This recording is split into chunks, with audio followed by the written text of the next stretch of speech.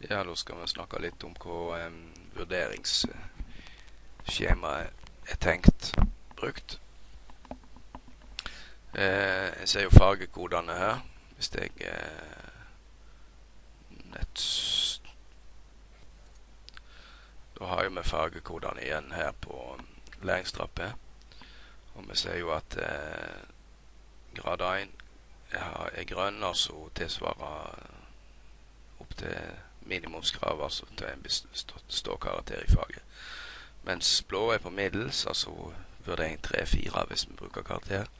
Og rød da er på femmer, eventuelt sekser hvis du er helt, uh, helt i taket. Og når en har vurdering, da, så er det samme metoden en bruker der. Sånn at hvis vi går ned nå Nå legger skjemaet på hodet her, men går vi ned på Ja, hvis vi ser på Dette er på middels, da.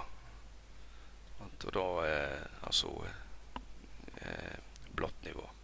Så hvis dette hadde vært en prøve, så måtte han ha vært som den med alle de kriteriene. Så jeg, jeg kan en telje antall Altså en, en telje antall som en har rett på. det. Skal, jeg skal gå opp igjen på han. skal vi se. Samme her, her har du en som er på grad 3 tilsvarende.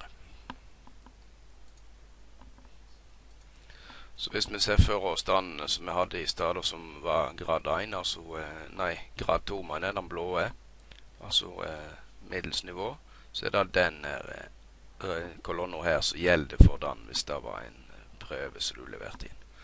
Og da må en jo telle ned gjennom at en ser etter disse kriteriene som har gått igjennom nå på hver enkelt video, at du har rett den og rett den osv. ned gjennom. Hvis du sier det at du har kommet ned Ja, greit, det er fem av dem jeg har klart. sant? Da lander du på at du har tilfredsstilt fem til sju av kravene. Så da kan du sette en kryss her på at en har Du ligger på, på det. Og eventuelt hvis det bare er du har klart tre av kravene, ja vel, da ligger du her. Og så er det, er det neste på, på neste. Mens når jeg som lærer retter det, så ser jeg jo at disse kravene er innenfor. Eh, og da eh, Og så ser jeg igjen om eh, hvor det står i forhold til de andre. Da.